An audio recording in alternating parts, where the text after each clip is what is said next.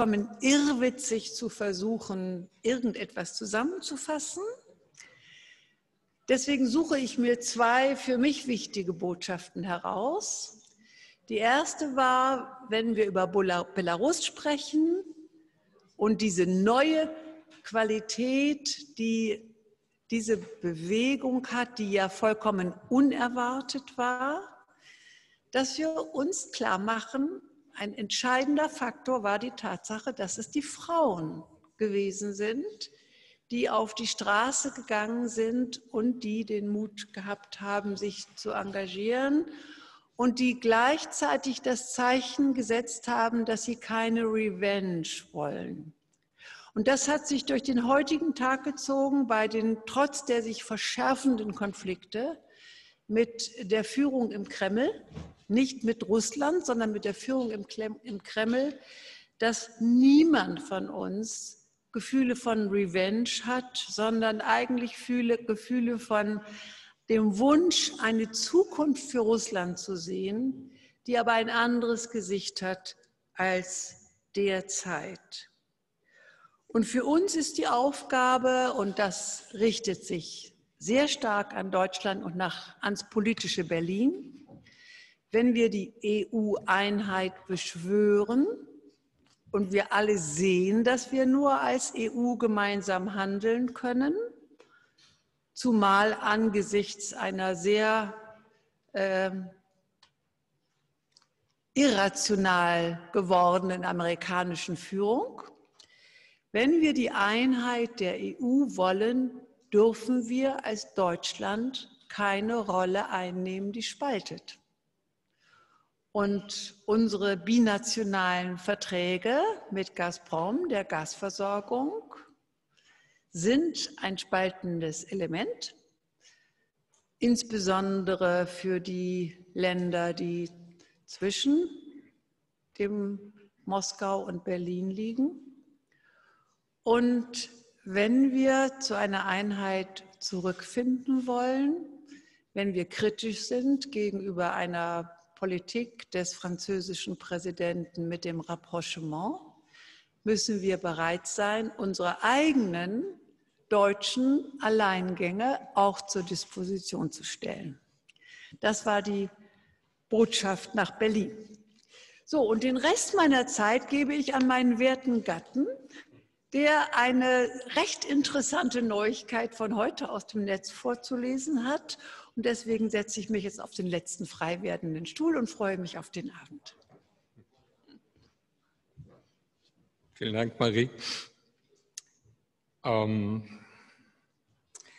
ich würde Ihnen gerne eine Erklärung der Botschaft der Russischen Föderation kurz vorlesen, weil die doch sehr vielsagend ist für den Stand unserer Beziehungen. Am 9. September des Jahres wurde der außerordentliche und bevollmächtigte Botschafter der Bundesrepublik Deutschland in der Russischen Föderation, Dr. Gesa Andreas von Geier, ins Außenministerium, ins russische Außenministerium einbestellt. Beim Botschafter wurde ein entschiedener Protest eingelegt, dass von der Bundesregierung haltlose Vorwürfe und Ultimaten gegen Russland wegen der Erkrankung und Krankenhausaufnahme des russischen Staatsbürgers Alexei Nawalny vorgetragen werden und diese Situation als offenkundiger Vorwand zur Diskreditierung unseres Landes auf internationalem Parkett missbraucht wird. Es wurde erneut gefordert, vor dem Hintergrund dieser Hysterie unverzüglich eine sachliche und ausführliche Antwort der deutschen Seite auf das offizielle Rechtshilfeersuchen der russischen Generalstaatsanwaltschaft vom 27. August 2020 zu übermitteln. Der Botschafter wurde darauf verwiesen, dass das Ausbleiben der oben erwähnten Materialien als Weigerung der Bundesregierung gewertet werden wird, zur Wahrheitsfindung im Rahmen einer objektiven Aufklärung beizutragen und ihre bisherigen und künftigen Maßnahmen im Fall Nawalny als eine grobe, feindselige Provokation gegen Russland, die Konsequenzen für das russisch-deutsche Verhältnis und eine gravierende Beeinträchtigung der internationalen Situation herbeiführen kann. Die ganze Verantwortung für die Folgen dieser Politik wird somit bei der Bundesregierung und ihren NATO- und EU-Verbündeten liegen. Punkt. Das erinnert ein bisschen an das alte Bild zu den, ich sage, der Asymmetrie der deutsch-russischen und europäisch-russischen Beziehungen. Wir spielen Softball und der Kreml spielt Rugby. So, also wir versuchen Körperkontakt zu vermeiden, Konflikt zu vermeiden. Und der Kreml ergreift die Flucht nach vorne und eskaliert und droht. Ich meine, das ist ja ein ganz offenkundiger Ton in dieser Erklärung, es ist eine Drohung. Und die Frage ist, wie wir darauf reagieren. Das war ein zentrales Thema heute den Tag über und ich will Ihnen gerne nur äh, drei, im Anschluss an Marie-Louise, drei aus den vielen Konsequenzen und Überlegungen äh, sagen dieser Konferenz äh, kurz vortragen. Die erste heißt, wir sollten nicht unermüdlich ähm, in einem viel stärkeren Maß äh, die Partnerschaft mit Russland beschwören, als der Kreml an dieser Partnerschaft interessiert ist. Die zweite war, ähm, wenn der Kreml, ich sage nicht Russland, weil Putin und die jetzige russische Führung ist nicht Russland, wenn der Kreml als Gegner der europäischen Demokratien agiert, dann sollten wir ihn auch als Gegner behandeln und nicht die Augen vor den Tatsachen verschließen. Jede Realpolitik gegenüber Russland beginnt damit, zur Kenntnis zu nehmen, mit welchem Regime wir es zu tun haben. Ein Regime, was sich an keinerlei moralische Verpflichtungen und an keinerlei internationale Normen bindet. Dieser Erkenntnis sind wir jetzt vielleicht sehr spät durch die Vergiftung Nawalnys näher gekommen, obwohl es dafür schon seit vielen Jahren viele Gelegenheiten gab, sich mit dieser unbequemen Wahrheit zu konfrontieren. Und das Letzte war natürlich, und das wird sicher heute Abend auch eine große Rolle spielen, dass ob wir das wollen oder nicht, Nord Stream 2 zu dem Prüfstein geworden ist, ob wir bereit sind, eine klare Botschaft zu senden bis hierher und nicht weiter. Ja, Nord Stream 2 als dem Projekt, an dem der Kreml das größte Interesse hat. So, und zu glauben, man könnte das trennen von dem politischen Konflikt mit Russland, ist eigentlich nur eine Einladung, äh, uns weiterhin nicht ernst zu nehmen. So. Ähm, das vielleicht als äh, einführende Bemerkung aus einem sehr langen und intensiven Tag. Wir haben ein äh, wunderbares Podium für die Diskussion über die künftigen Beziehungen zwischen Russland und dem Westen, äh, zum Teil mit äh, Teilnehmern unserer Konferenz von äh, heute, zum Teil mit neuen äh, Sprecherinnen. Äh, ich äh, beginne mit Professor Marie Mendras. Sie ist äh, politische Wissenschaftlerin ähm, auf dem Gebiet äh, der Russian Studies an der Pariser School of International Affairs, Sciences Po ähm, hat in früheren Jahren als Beraterin im französischen Außenministerium und äh, Verteidigungsministerium gearbeitet, äh, hat zahlreiche Bücher äh, zu Russland und den europäisch-russischen Beziehungen verfasst. Das letzte trägt den Titel ähm, Russian Elites Worry, the Unpredictability of Putinism, also die Unberechenbarkeit des Putinismus. Herzlich willkommen, Marie.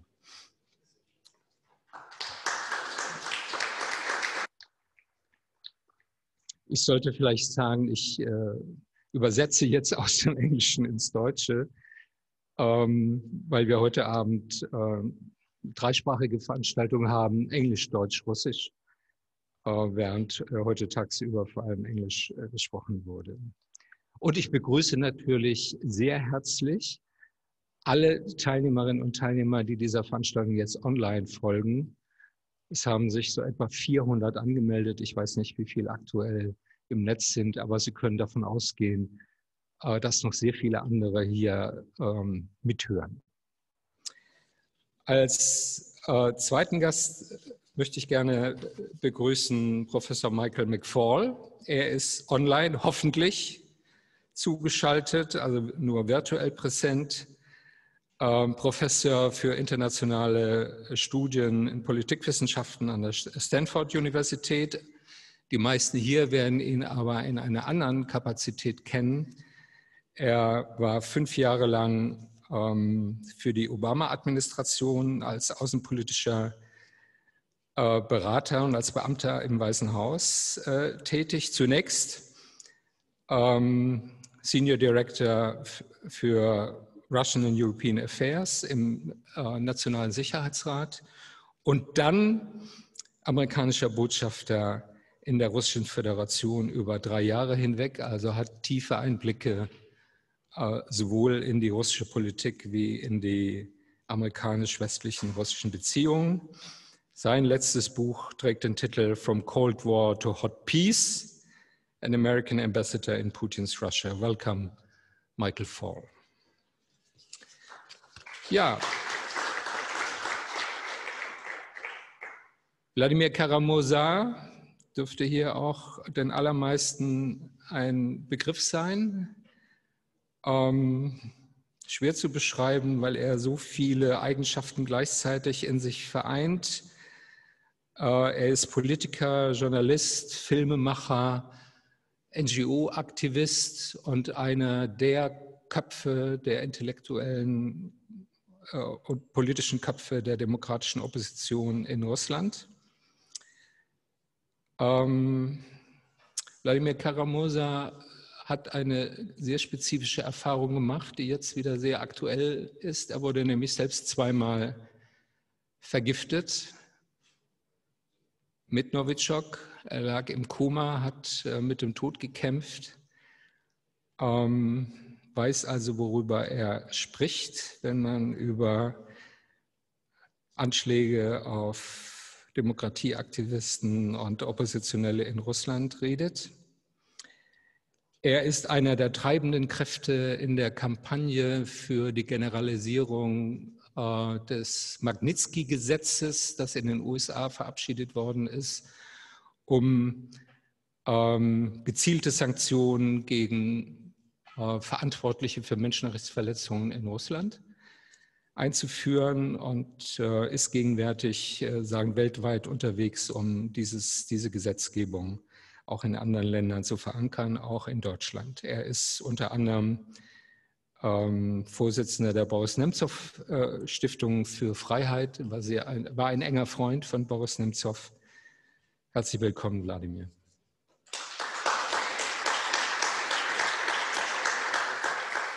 So, und dann haben wir zwei äh, gute Bekannte aus dem äh, Bundestag, äh, die die einführenden Bemerkungen unserer drei Expertinnen kommentieren werden.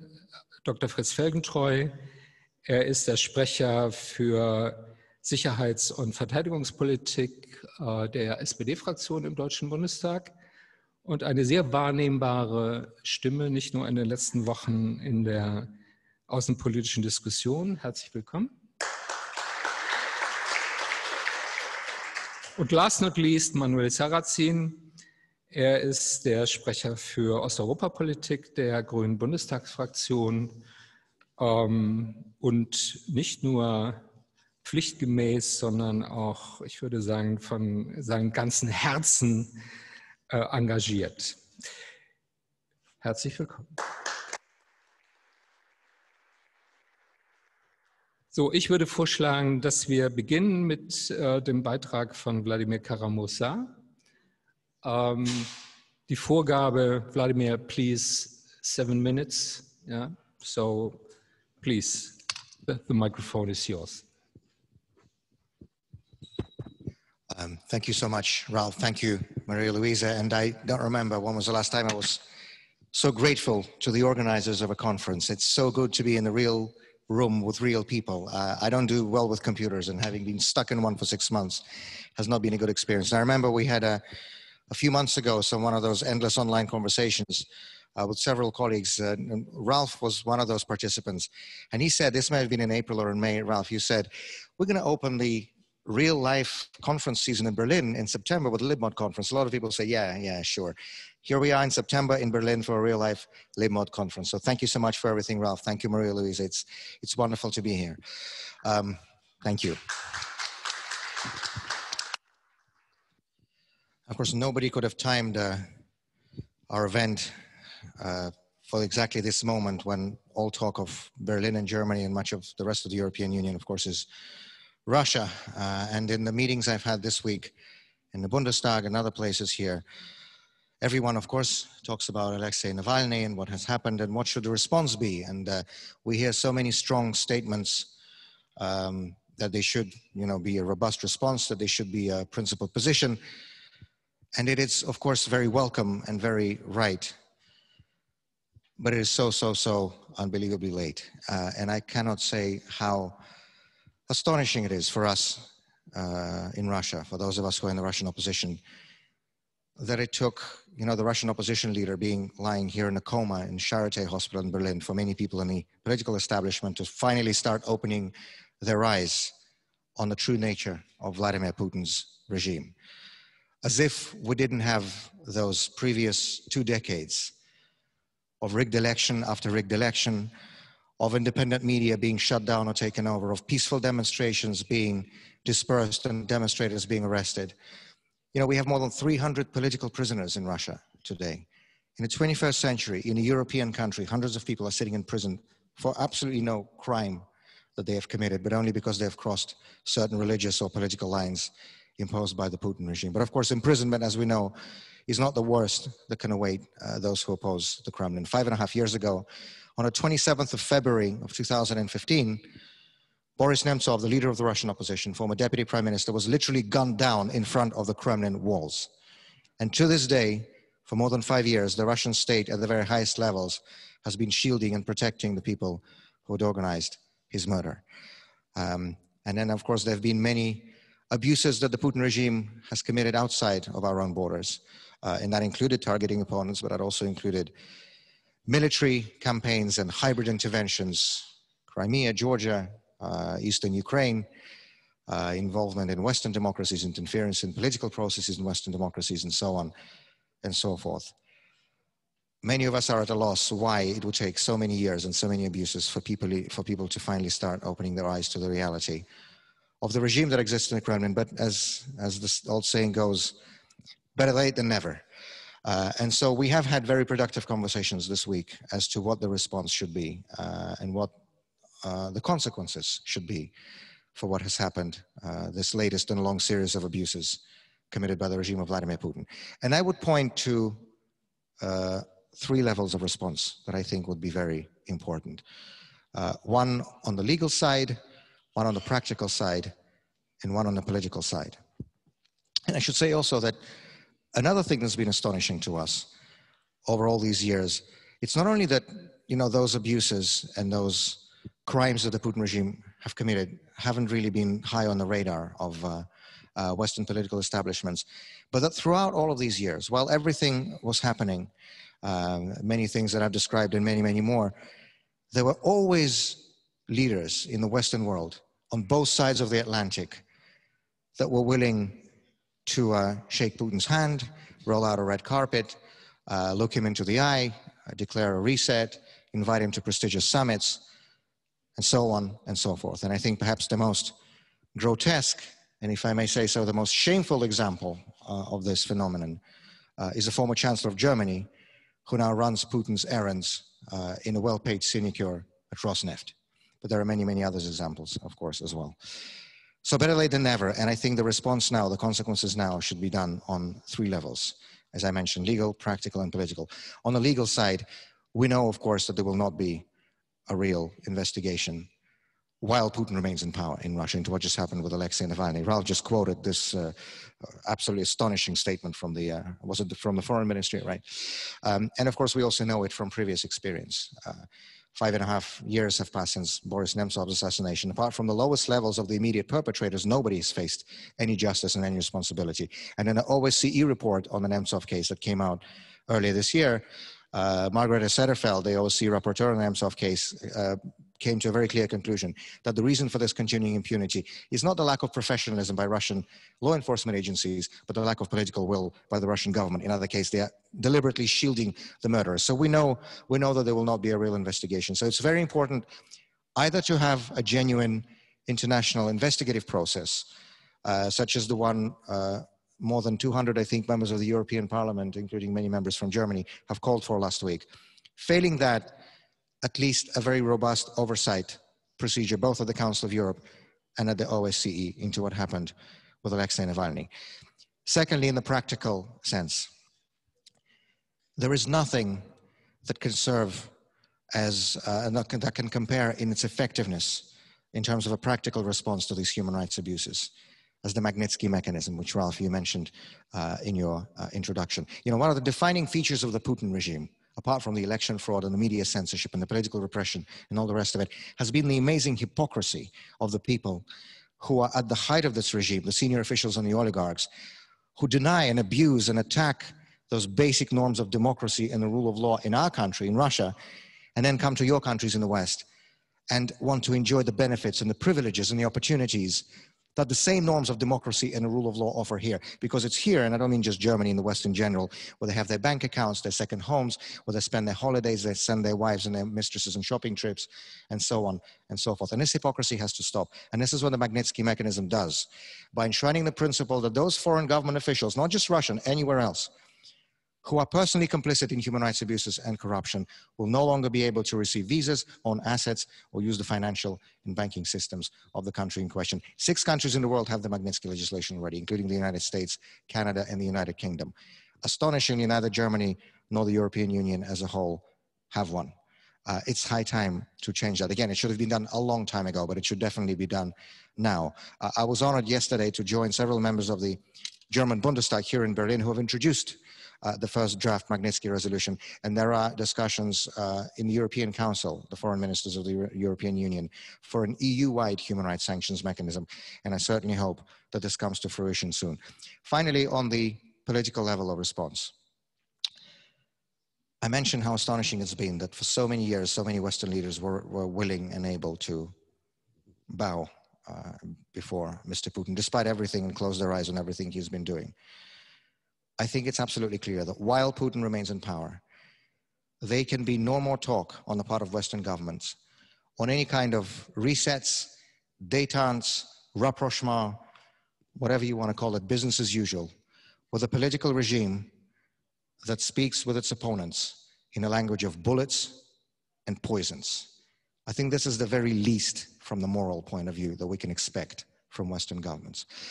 Um, and in conclusion, I want to say one very important thing. And Ralf, thank you so much for making the distinction in your introduction here between Russia and the Kremlin. Because so many times people in the West fail to make that distinction. And even on the level of language in the media, from politicians in, in parliaments, we hear people say phrases like, you know, Russian behavior, Russian abuses, let's respond to Russia. Let's please not equate a whole nation, a great and culturally rich nation of 140 million people, with a small crook of criminals and thieves who are sitting in the Kremlin and who are not democratically elected. That equation is false. It is insulting. And let me tell you about the other side of Russia, because all our conference today, for understandable reasons, has been on the official side.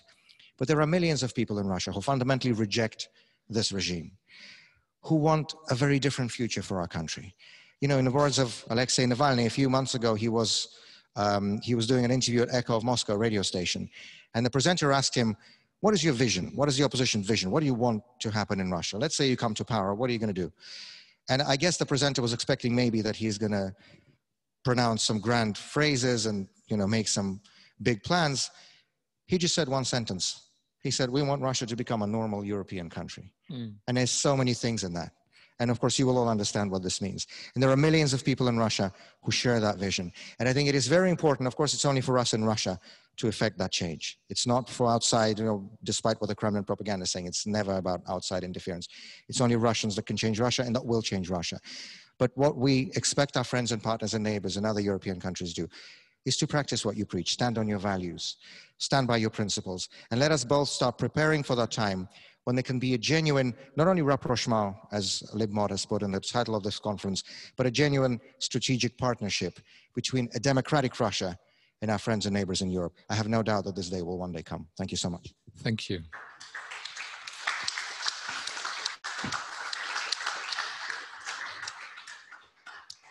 Thanks a lot, Vladimir, for this passionate and strong statement. I would like to continue with Marie, Marie Mendras. Thank you very much, Ralf and Marieluise, for organizing this wonderful day. I cannot tell you how much I value cooperation and exchanges with German friends and colleagues, and it is so important uh, these days. Uh, Vladimir Kara-Murza has made a strong point about the lawlessness of the Putin regime and its um, threat to opponents and and free thinking uh, uh, people and opposition politicians. There is one more um, big threat coming from that regime uh, is that to survive, it has to create insecurity. Insecurity at home, so people feel they have to depend on their leaders for stability, quote unquote, and insecurity outside. Well, in Ukraine, of course, in uh, 13, 14, and to this day, uh, insecurity in Belarus um, and in also other parts of the world, but I don't think we'll get into uh, the, the war in Syria here. Um, I'd like to um, address two points. The first is uh, compare Belarus to Ukraine Maidan and the fall of Yanukovych. And I will try to argue that events in Belarus will be as much of a watershed in Ukraine, even though the circumstances are, are different. And my second point um, is about European and Western responses and what can be done now. I mean, not tomorrow, but, but now. The, why is Belarus a watershed? Uh, because it is again a population in the streets uh, trying to get rid of a dictator. So we have a sense of deja vu, but now we know better what at stakes. I think we know it better than in 2013 14. And what we see is um, a, a Belarusian society that is trying to push forward a peaceful transition of power and is facing, of course, an obstacle from Lukashenko himself and, um, and, and his police and, and military, but also from the Kremlin and maybe from the Europeans. Uh, why from the Europeans? Because we continue to believe that um, Putin cannot let go. I remember in France how many of you know our officials and experts and we'd say, but you know, it's the core interests of Russia. How can they let go? Not thinking for a second that maybe the very interests of the Ukrainians and of the Ukrainian state uh, uh, uh, uh were as important as um, uh, the Kremlin's um, uh, national, national interests. Um, and in France, what we've been witnessing is a very cautious attitude uh, this uh, summer so as not to provoke Putin more and that he might then get that angry or uh, feel threatened that he might intervene. And so maybe it's better to try and talk to him. Emmanuel Macron called him uh, mid August. Uh, then Macron said, well, you know, Lukashenko would not answer the phone, so we have to call somebody. Uh, it took the Elysee another few days to send somebody to Vilnius to talk to Svetlana Tikhanovskaya, who did win the presidential election of the 9th of August. What I'm trying to say is, there, is that Putin now is walking a tight rope. He has, in my view, three instruments at hand the traditional oil and gas dependence with us and with the Belarusians and Ukrainians. He has the uh, uh, uh, wicked uh, disinformation, fake news, um, harassment, uh, which I can tell you one can sense very much in, uh, in the French media and among a number of French um, ruling elites. And he has the security scare. That is, scare uh, the Russians, but also scare us in Europe. Uh, that if um, he cannot control his sphere of influence, Belarus, and um, he might have to intervene to keep stability, when in actual fact, he is the one creating the crisis and creating the insecurity and, um, and chaos. So I think I, our first um, response is not to play with the war scare. I don't see any good reason why Russians would intervene in Belarus. This is where it's not like Ukraine. You don't have a Crimean peninsula, you don't have a Donbass, uh, and uh, also clearly now the Kremlin has no plan B, I mean, no man to put in Minsk and uh, uh get rid of Lukashenko. Because I don't think the Kremlins want to keep, to keep Lukashenko. They tried to have an option, they are failing uh, to do so. Also, Putin is facing very strong determination from the Belarusian citizens and voters. And that's when it's very similar to Maidan.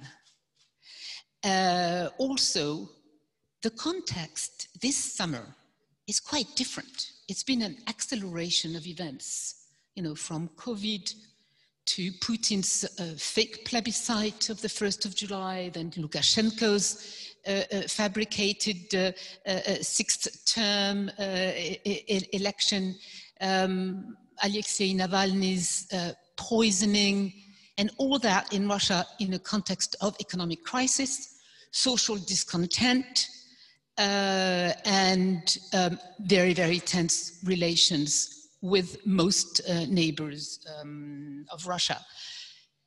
I believe that we Europeans and we Western governments uh, can uh, go for more resolute steps.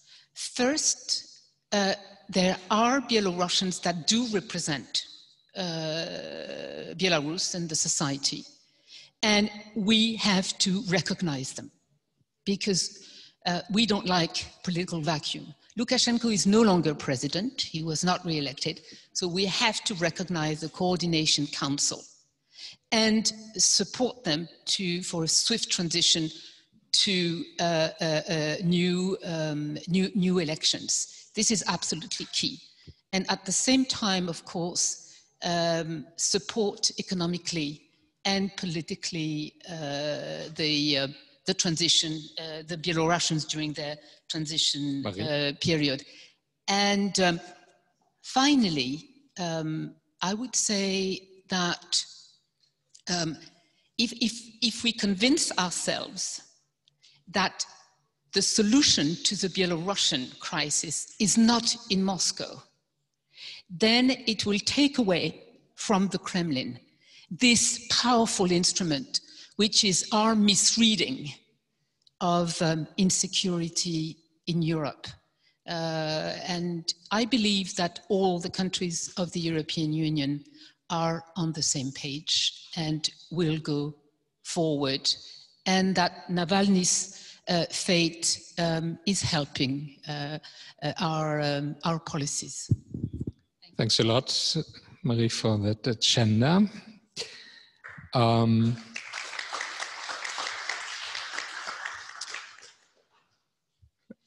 weil Manuel Sarrazin aufgrund einer dringenden anderen Verpflichtung uns um acht verlassen muss, würde ich Ihnen jetzt gerne das Wort geben.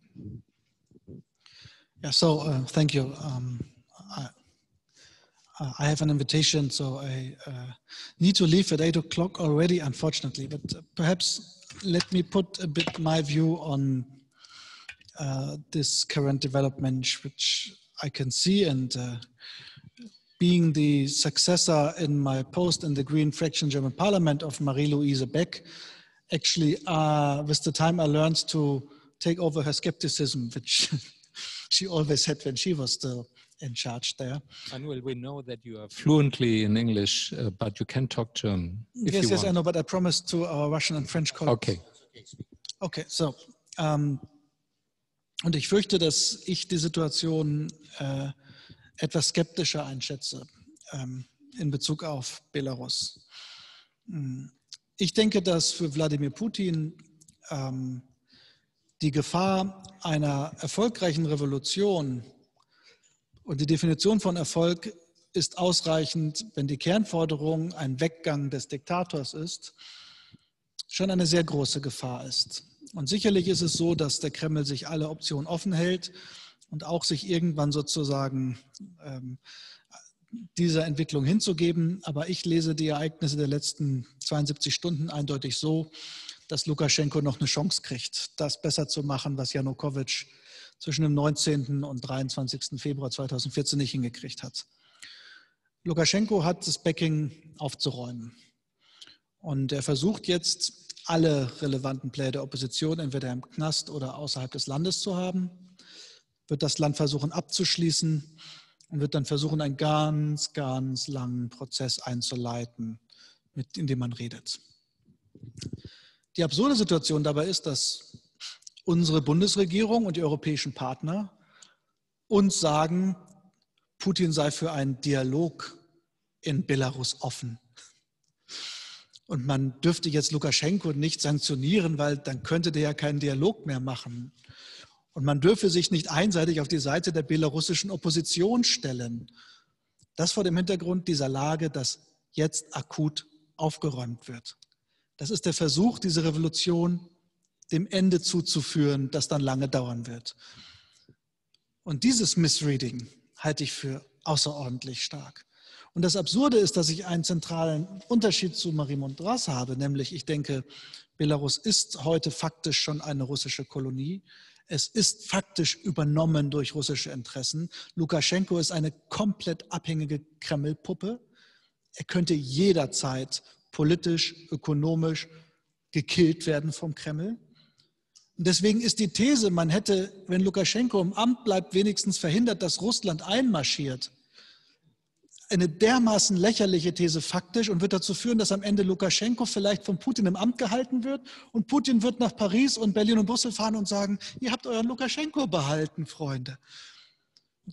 In der Situation, wo man geostrategisch keinen Zugriff auf Belarus hat, davon bin ich überzeugt, wo auch die Opposition keine unbedingt große nähere Annäherung an die EU will, sondern eher ein Modell der Solidarność von 89 bis 90, Wasche in Nasche, oder das Paschinjan-Modell nehmen würde, von uns aus sich plötzlich zum Anwalt dieses abgehalfterten Diktators zu machen, der tausende Menschen in den Knästen foltern lässt, nachdem er einem jahrelang veräppelt hat mit seinem angeblichen Wandelgelaber, ist ein Ausverkauf von moralischen Interessen. Und man kann manchmal moralische Interessen ausverkaufen, wenn es geostrategisch Sinn macht. Aber in einer Situation, in der man geostrategisch gar nichts bewirken kann, die Moral auch noch hinten anzustellen, ist einfach nur dumm. Manchmal ist es so, dass eine Moral hinten anstellt, um den Diktator im Amt zu haben, der einem nützt. Aber zu glauben, Lukaschenko nützt im Westen, ist ungefähr so zu glauben wie gute Umfragewerte der SPD würden den Grünen schaden oder andersrum, Fritz, ich sag's mal so.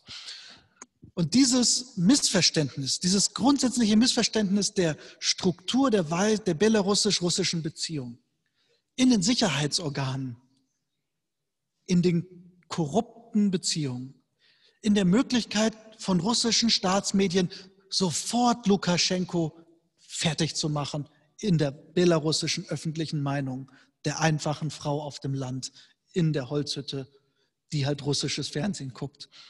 Das ist, da stehe ich so richtig fassungslos davor. Und das heißt nicht, dass ich jetzt eine Lösung hätte, was dabei rauskommt. Ich glaube, wir müssen uns ehrlich machen. Ich habe da neulich mit einer Person hier im Saal drüber geredet, da waren wir uns einig, die hat das sehr treffend zusammengefasst.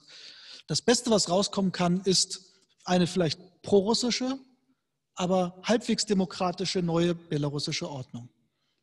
Wir müssen gar keine Angst davor haben, dass vielleicht in Belarus die neuen Machthaber nicht mit EU-Fahnen rumlaufen oder das ist doch nicht schlimm. Wenn es in Belarus eine demokratische Mehrheit dafür gibt, einen Unionsstaat mit Russland zu bilden, die es meinerseits nicht gibt, aber unser Ziel ist doch eigentlich die Blockfreiheit von 87 durchzusetzen, aber dabei den Menschen die Möglichkeit zu geben, souverän zu entscheiden und vielleicht die Möglichkeit zu geben, in einigen Jahren auch souverän anders zu entscheiden. Und genau das ist ja das, den Fehler, den wir gerade machen, indem wir unklar sind bei der Person Lukaschenko. Letzte Woche haben die EU-Außenminister auf die Sanktionsliste nicht Lukaschenko gepackt, weil man angeblich mit Menschen, die sanktioniert sind, nicht in Dialog treten kann. Vor wenigen Monaten war Herr Gerasimov im Kanzleramt und saß neben Angela Merkel. So wie ich weiß, der ist sanktioniert. Also, dass, dass einem überhaupt so ein Argument dann präsentiert wird, Natürlich kann man mit Lukaschenko auch einen Dialog machen, aber die Voraussetzung dafür, dass es einen Dialog in Belarus gibt, ist, dass es überhaupt Oppositionelle gibt, die frei und im Land sind. Wie soll man sonst in Dialog treten? Und deswegen habe ich eher das Gefühl, dass es hier eine ganz klare Entscheidung gibt, dass diese Krise bloß nicht diesen Leicht, diese Hoffnung von Flirt zwischen uns und Russland, alles ist normal, das Thema ist politisch so anstrengend, dass diese Krise das bloß nicht beendet. Dass man hier ein großes Interesse daran hat, dass das Thema ohne, ohne viel Disturbance sozusagen vorbeigeht. Das ist jetzt vielleicht zu skeptisch, aber ähm, das ist meine Meinung. Vielen Dank.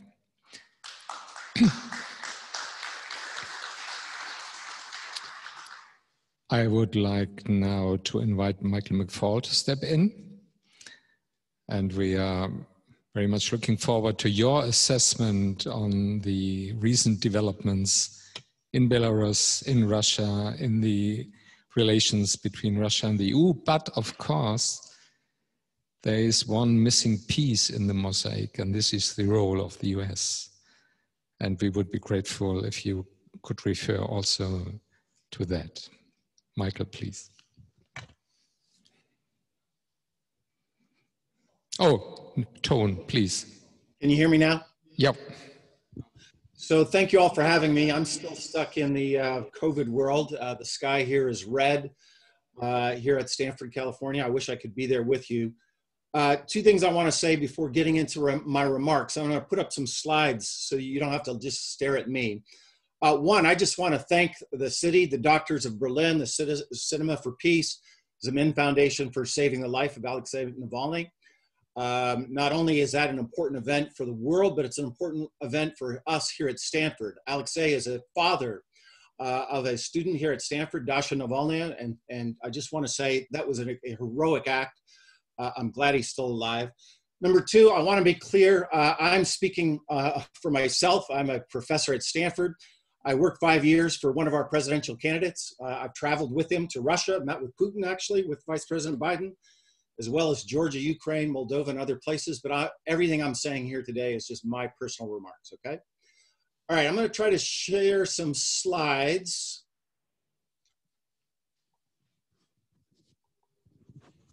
Can you see my slides? Not yet.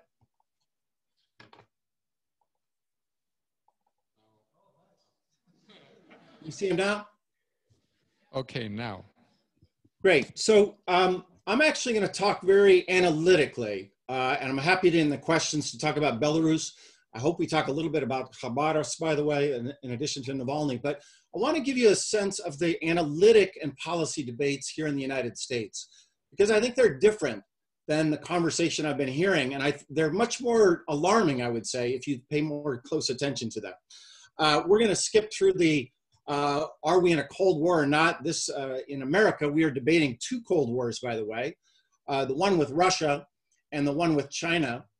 Um, and in my view, uh, there are some very important differences and similarities. We'll just talk about Russia today, obviously.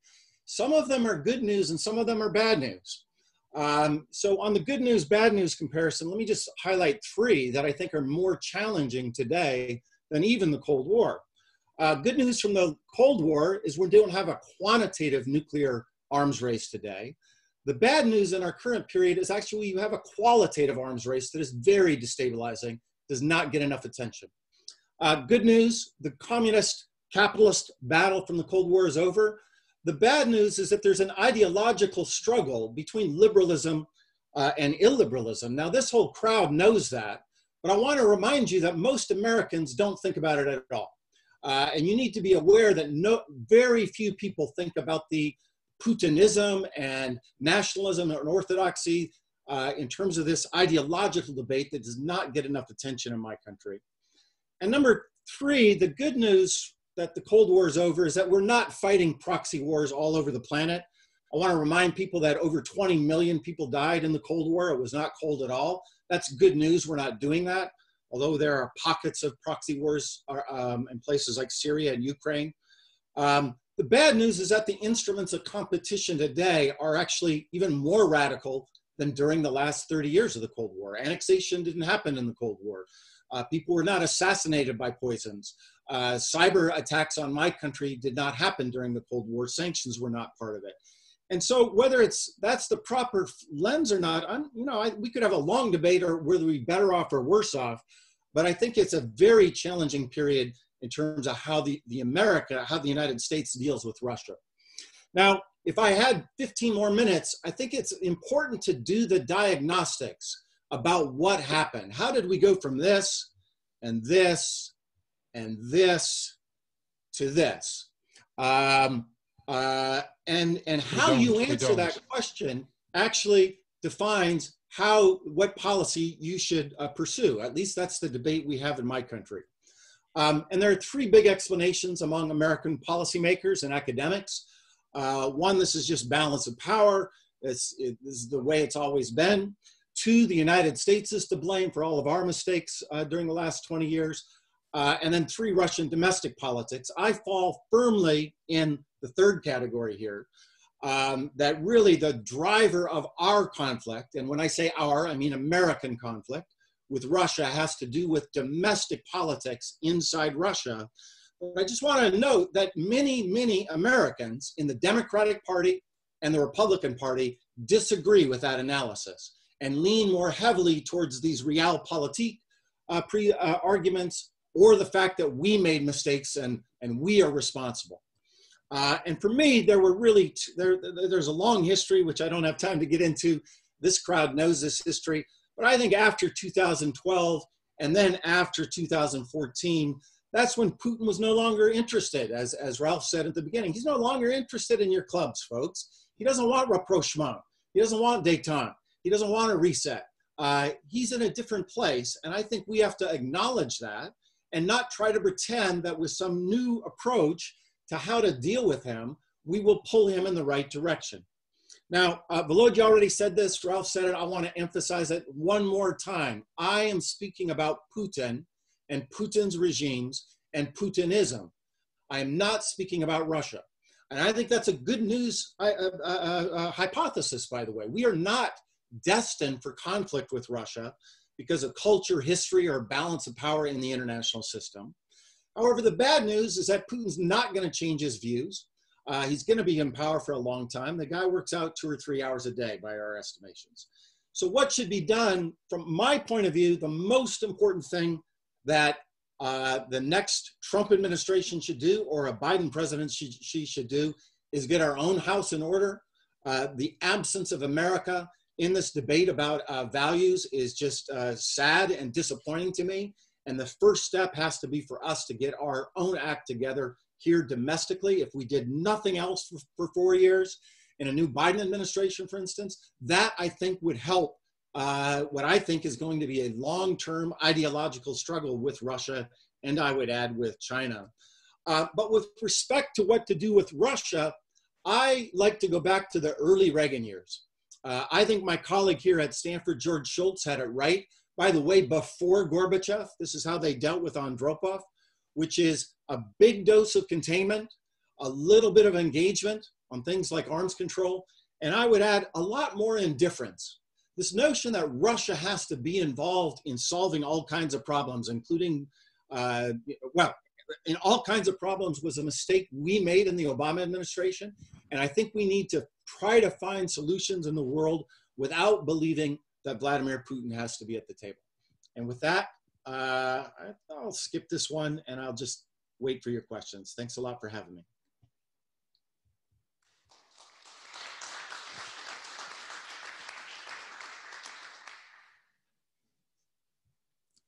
Thanks a lot, Michael. Uh, a lot of your key issues also played a role in our today's conference. This new balance between selective engagement, containment, um,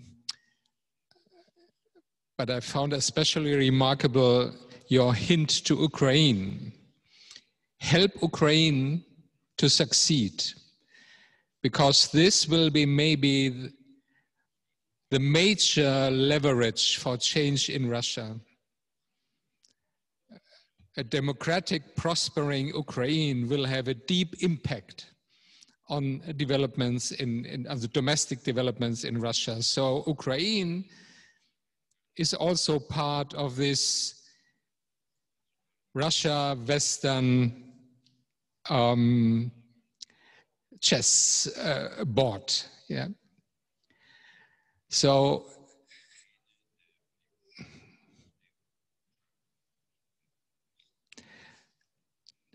Fritz Feldentreu, bitte sehr.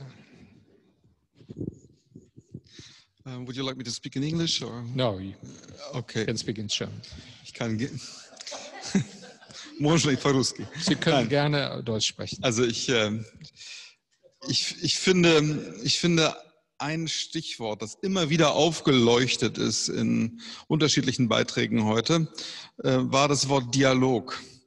Und ähm, für mich geht so ein Gespenst um in Europa, das Gespenst des Dialogs in diesem Falle. Zum Dialog gehören ja immer zwei. Und äh, nach allem, was wir diskutiert und beobachtet haben, ist aus meiner Sicht eines ziemlich klar. Äh, man kann mit einem Autokraten keinen Dialog führen, wenn man selber als schwach, äh, zerstritten und unklar äh, in seiner Haltung wahrgenommen wird. Das führt nicht zu einem Dialog. Das führt dazu, dass man etwas sagt, dass der andere vielleicht auch hört, aber nicht dazu, dass man zu einem Austausch kommt, der die Möglichkeit, die Basis schafft äh, für eine Verständigung. Und äh, deswegen glaube ich, dass die allererste Prämisse, äh, die wir haben müssen, abgesehen von einer grundsätzlichen Bereitschaft zum Dialog, dagegen finde ich, kann man nichts haben und die muss man auch immer wieder signalisieren. Aber das ist die allererste Prämisse, die wir uns erarbeiten müssen, eine eigene Position der Stärke ist. Also dazu gehört Geschlossenheit, dazu gehört eine klare Botschaft und wenn man die hat, dann kann man auch einen Dialog führen, vorausgesetzt, die andere Seite hat ein Interesse daran und ist bereit, sich darauf einzulassen. Und das ist, glaube ich, die Richtschnur, der man auch folgen muss ähm, in komplizierten und unübersichtlichen Situationen, wie der Situation, in der wir uns im Moment gerade befinden. Deswegen glaube ich, dass Manuel Sarrazin durchaus recht hat, wenn er sagt, ähm, wenn wir feststellen, dass äh, von Lukaschenko und äh, denjenigen, die seinen Befehlen folgen, massive Menschenrechtsverletzungen verübt werden, massive Eingriffe in bürgerliche Freiheiten vollführt werden, dann muss das nicht nur identifiziert und angesprochen werden, sondern es muss auch Konsequenzen haben. Äh, das ist, glaube ich, ganz entscheidend. Nur das schafft Glaubwürdigkeit. Ich denke, wir haben tatsächlich in gewisser Weise einen Erfolg erzielt mit dem von Ihnen vorhin, Herr Fuchs, vorgelesenen Statement der russischen Botschaft. Es zeigt nämlich, dass die klare Haltung Deutschlands in der Frage des Schicksals von Alexei Nawalny äh, tatsächlich als eine starke Position wahrgenommen worden ist, die auch eine starke Reaktion hervorgerufen hat. Nicht unbedingt äh, eine versöhnliche, aber eine starke. Und ich glaube, diese Art von Klarheit äh, ist das, was in einem ersten Schritt notwendig ist, um überhaupt eine Basis für weitere Entwicklung zu schaffen.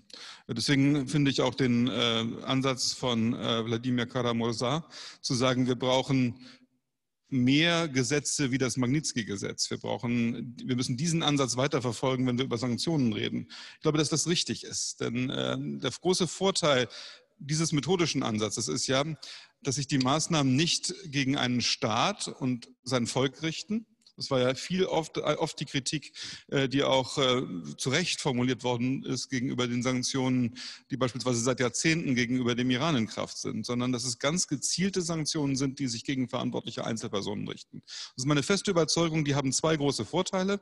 Erstens, sie identifizieren eindeutig ein Unrecht als Unrecht und zeigen, dass es Konsequenzen hat. Und zweitens, sie tun den Betreffenden tatsächlich weh. Und auch das gehört dazu.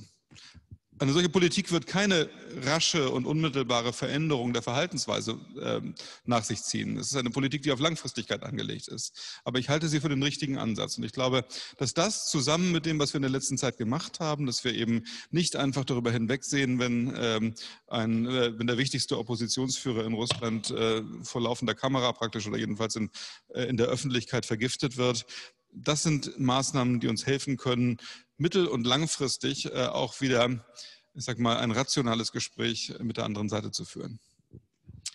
Herr Felten, vielen Dank. Ich muss jetzt doch eine direkte Nachfrage stellen. Ähm, so richtig ich es finde, über ein möglichst europaweites Gesetz äh, gegen verantwortlich für Menschenrechtsverletzungen, also gezielte Sanktionierung von Personen ähm, auf den Weg zu bringen. So problematisch finde ich, wenn man das ausspielt gegen andere Maßnahmen, die jetzt kurzfristig ergriffen werden können.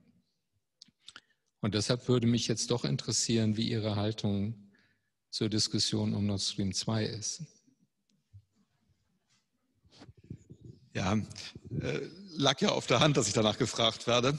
Ähm, ich glaube, man muss, ähm, wenn man ähm, aus etwas größerer Distanz auf das Problem guckt, zunächst mal sagen, wie wichtig ist denn eigentlich der Import von russischem Gas für Deutschland und äh, Europa?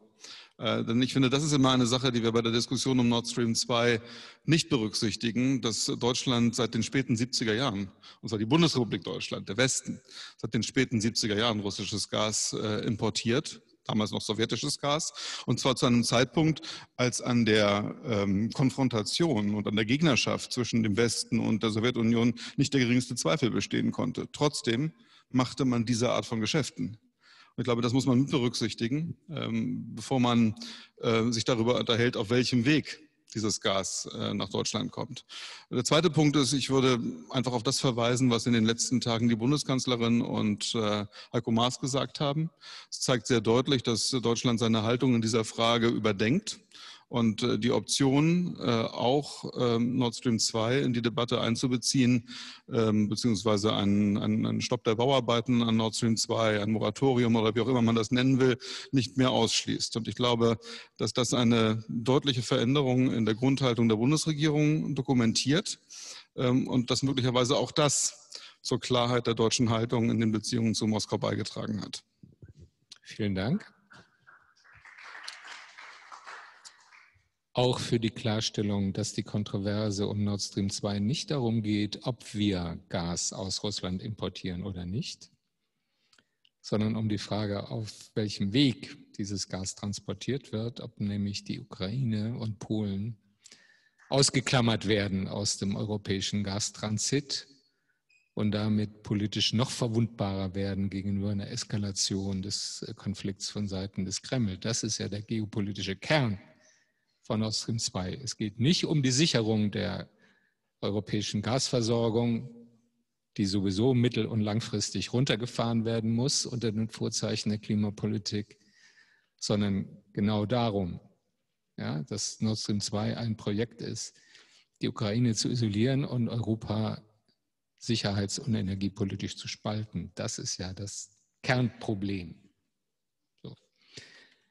Ähm, wir sind schon relativ weit in der Zeit und deshalb würde ich Sie gerne einladen, sich zu Wort zu melden. Wir haben zwei Saalmikrofone, an denen man sich aufstellen kann. Bitte sehr. Ich sehe jetzt eine erste Wortmeldung. Stellen Sie sich kurz vor, auch wenn, ich, wenn wir uns kennen. Ja, hallo, guten Abend. Äh, auch mein Name ist Natalia Prehornicka. Auch meinerseits äh, vielen Dank für die Veranstaltung. Es ist großartig, auf Menschen zu treffen und das genießen zu können. Meine Fragen, ich habe zwei Fragen ähm, und einen Kommentar. Äh, zu, äh, zuerst der Kommentar. Äh, Frau Mendrasi meinten, dass Putin in, Russ in der Ukraine eben das Interesse an Donbass und der Krim hatte. Aber da gibt es auch einen ganz wichtiger Punkt. Es ging auch um die Einflusszone, die Putin verliert, wenn die Ukraine sich dem, der Europäischen Union zuwendet. Ähm, und meine Fragen ähm, sind folgende. Äh, wie groß schätzen Sie, ähm, wie groß kann der Einfluss einer erfolgreichen Revolution in Belarus auf das Protestpotenzial in Russland haben? Stichwort äh, Wort Khabarovsk, also seit 11. Juli Gibt es dort ähm, Demonstrationen, obwohl die jetzt abnehmen trotzdem? Ähm, wie, wie, schätzen Sie das ein? Und ähm, wie kann der, ob der, dieser Eingangsstatement äh, von, von Ralf Füchs, ähm, diese Pressemitteilung, kann die als ein Indikator für zunehmende Angst des Kreml gewertet werden? Vielen Dank. Ich habe hier noch eine Wortmeldung gesehen. Sie müssen zum Mikrofon, weil das sonst nicht übersetzt werden kann und nicht übertragen wird online. Ja, guten Abend. Ist besser, als spreche auf Englisch. Um, uh, English, please. Yes. Um, to uh, your, uh, the, I'm sorry, I didn't catch your name. The German colleague who just uh, uh, who spoke recently. Mr. Felgentreu. Mr. Thank you. Um, I, what I would put to you is, I hear this so often in Berlin. Well, we did it in the 70s and everything was fine, so we have to do it now. What we know now about this, the 70s and early 80s is Russia had an internal energy crisis, a severe problem with oil, and they were able, because of the German cooperation, to switch to dependence on natural gas to make an energy transition and to get crucial import revenues that allowed them to buy wheat and so forth. So they violated this, this violated the sanctions put on Afghanistan, Russia. It violated the sanctions that uh, uh, Reagan put when the Russians um, uh, put martial law in Warsaw. And those had to be abandoned because of German policy. Now, it's hard to say what if, but was that what gave the Soviet Union another 10 years? I don't know. So I think you should keep that in mind. I understand what you're doing, but um, well, anyway, I agree with Ralf's uh, comments. Hmm. Thanks. Thanks a lot. More questions and comments? Otherwise, I would um, introduce a, a, comment by Daniel Fried, also an old friend of us, former official of the, the Bush administration. Will Germany help crystallize an EU policy regarding Putin's Russia that incorporates first moral clarity, as demanded by Vladimir Kara-Murza, realism about Putin's nature, demanded by Professor Mendras, and an operation and, and an operational consistency um, as suggested by Professor McFaul. I don't know who is uh, able to answer that $100 question, but uh, I will leave it to you. Would you like to respond to the, the questions up to now? Yeah. Okay. Oh, okay, it's on. Thank you. Thank you, Ralf. Thank you so much. I'll, I'll address the question of Belarus, uh, if I may. Uh, the protests in Khabarovsk have been mentioned uh, a few times today. Uh, for those of you who may not know, for the past eight weeks now. Uh, there have been unprecedented protests in the Russian Far East. Initially began of, over the removal of a local governor, but very quickly turned national in terms of the substance and quickly, to turn, uh, quickly turned against the Kremlin and the Putin regime. And at, at the highest point, there were 50,000 people on the streets of Khabarovsk. Now, the whole city population is 500,000. So 10% of the population was on the street. It would, it would be like having 1.5 million people on the streets of Moscow. But for the past four or five weeks, uh, many of the protesters in Khabarovsk were holding up posters Żyje Belarus, long live Belarus in Belarusian language. And Minsk actually reciprocated a couple of weekends ago. People were standing with posters. Khabarovsk, Putin drink Khabarovsk, tea. we are with you. Uh, I saw some slogans, Putin drink tea. Huh? Right, no, but I'm referring specifically to the connection between Russia and Belarus, which was the lady's question. Uh, it's very interconnected, what's been happening. Uh, of course, Lukashenko and Putin are the last two dictators in Europe. And even though they personally hate each other, which is a pretty well known fact, they have been so interdependent and so mutually supportive and so similar in the way they have built their systems and their authoritarian uh, regimes and consolidated them. In fact, when Putin came to power six years after Lukashenko and began to do the same things, you know, shut down independent media, rig elections, throw out opposition from parliament, jail opponents, and so on, um, Boris Nemtsov called it the Lukashization of Russia, Lukashizatsiya России. So Putin followed his uh, neighbor's uh, model. In this case, Lukashenko is the older brother, uh, to, to use that old terminology. So, and Russia lags behind by four or five years in the pace of authoritarian consolidation and in, in trends in public opinion as well.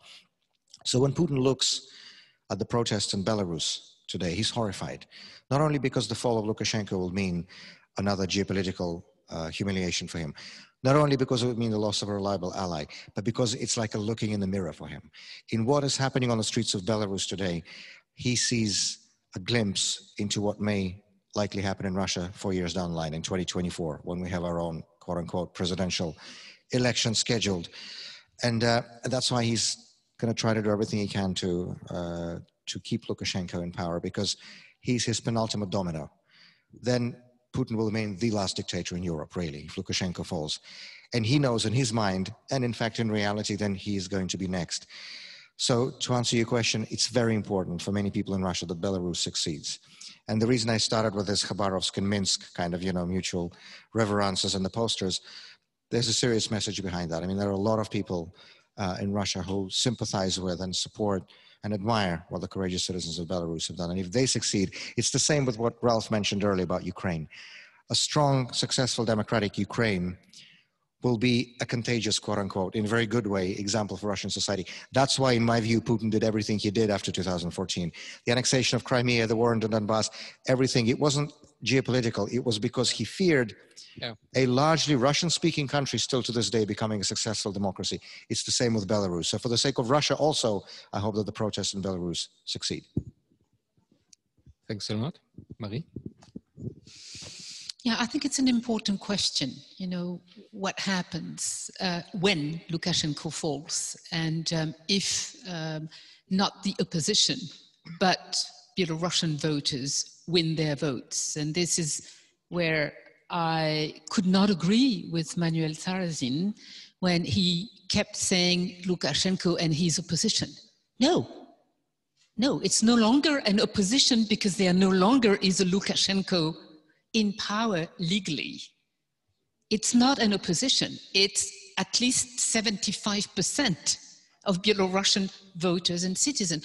So I don't understand why we are you know, two or three trains late on uh, uh, acknowledging uh, the situation. I think it is very important to stop talking of them as opposition and, and a minority.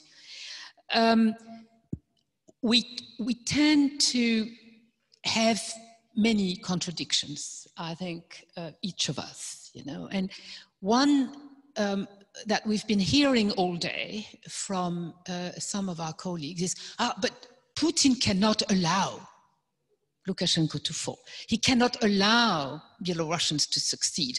He cannot allow that.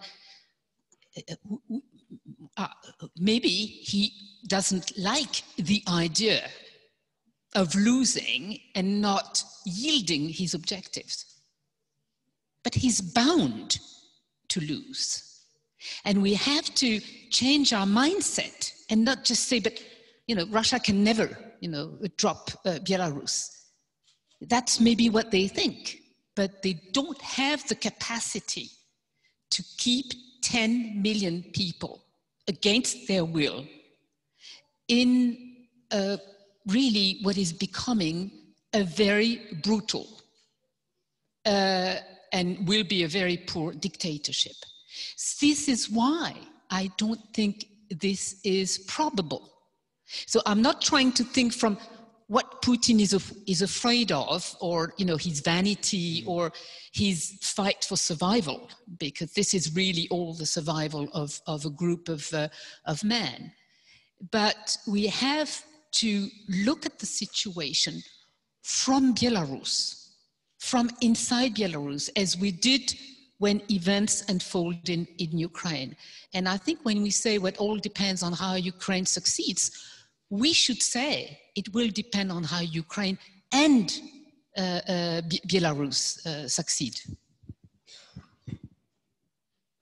Thanks a lot, Marie. Um, Could I jump in here? This is uh, Michael, yes, please, just uh, come in. Uh, just uh, I- I agree with uh, these are great answers uh, to great questions. Uh, but I just want to remind people uh, because there's uh, because of the particular group we are in this conversation, where uh, the people that are not in the room with us in this debate right now. Okay, uh, when we say we, and I just said we, right? When we say we, uh, remember that that the president of the United States disagrees with everything we're talking about right now. everything. He doesn't care about Belarus. He doesn't care about Navalny. He doesn't care about Khabarovsk. He doesn't care about Ukraine. Remember that. Uh, and he could win re-election. It's just 60 days away. You know, I obviously hope he does not. But I, I think that's an important thing to remember that there are millions of people in America, and I suspect millions of people in Europe that have a different view about how we're talking about these things, which is to say the ideological component uh, that there are, you know, there's good and evil in the world. I, I believe that. It's not real po- realpolitik, but there's another group of people. And by the way, uh, a minority group within my Democratic Party as well that think in a different way. And I, I just think we should also, in addition to a strategy for how we deal with Putin, uh, I would like to hear from my German and European colleagues what is your strategy for dealing with Trump uh, and Viktor Orban and Le Pen uh, and Salvini? Uh, what, what is our strategy for dealing with the illiberals within our own societies uh, as we move forward? I, I have to say, I've been very impressed with European leadership on Belarus and Navalny. Uh, and very disappointed uh, in, in my own government's lack of, of uh, engagement on that. For the Secretary of State to fly to Prague and give a speech about democracy in Europe and not even mention the word Belarus, I think tells you a little bit about the debate within the Republican Party. Uh, but I would like to hear, you know, A, what we do just in real time about those forces in our own societies, and B, what if Trump wins re-election? What does that mean in terms of this conversation we're having now, which right now is a, you know, a 50-50% probability? Das war eine Steilvorlage für Sie, Herr Felgentreu. Naja, also schwierig vorherzusagen, wie die amerikanischen Wahlen ausgehen. Ne? Also ich, äh, ich, wage, ich wage wirklich keine Prognose. Und es kann sehr wohl sein, dass wir äh, noch weitere vier Jahre mit Donald Trump zu tun haben. Aber so oder so zeigt ja die Tatsache, dass Donald Trump gewählt werden konnte, äh, dass ähm, die Distanz zwischen den USA und äh, der politischen Kultur der USA und äh, der amerikanischen Sicht auf die Welt und der europäischen sich vergrößert hat. Und eine Konsequenz, die wir daraus ziehen müssen, ist jetzt nicht äh, zu sagen, wir kapseln uns ab oder wir nabeln uns ab. Ich glaube, wir müssen immer wieder, gerade gegenüber unseren amerikanischen Freunden, betonen, wie wichtig uns die, die transatlantische Beziehung ist und äh, dass äh, die NATO insbesondere äh, als zentrales Element auch der Westbindung äh, Europas und Deutschlands äh, das Rückgrat unserer Sicherheit ist. Aber gleichzeitig brauchen wir als Europäer, wenn wir in dieser Welt bestehen wollen, ähm, eine größere Geschlossenheit und Einigkeit. Es geht zurück zu dem, was ich vorhin schon gesagt habe. Wir brauchen diese Geschlossenheit und Einigkeit gegenüber Russland wir brauchen, oder der russischen Führung.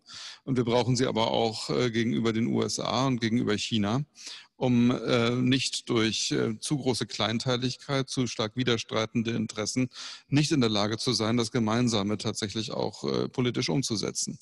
Das ist der entscheidende Punkt. Ob wir das schaffen können, ist aus meiner Sicht genauso offen wie der Ausgang der amerikanischen Wahl. Denn äh, die Teilungen und äh, die, das Misstrauen zwischen den europäischen Ländern und Kulturen ist Jahrhunderte alt und tief und das zu überwinden, daran haben wir jetzt gerade zwei Generationen gearbeitet und wir sehen, dass die Bruchlinien immer noch da sind.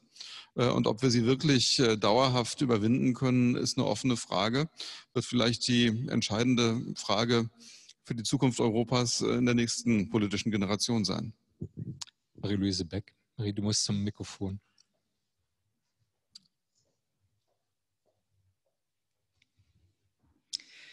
Wenn es so ist, dass wir uns ähm, auf den transatlantischen Partner derzeit nicht stützen können, und vielleicht wird das sogar vier Jahre weitergehen und äh, wir alle haben das Gefühl, das wird sehr katastrophal sein, ist trotzdem natürlich die Frage, was tun wir?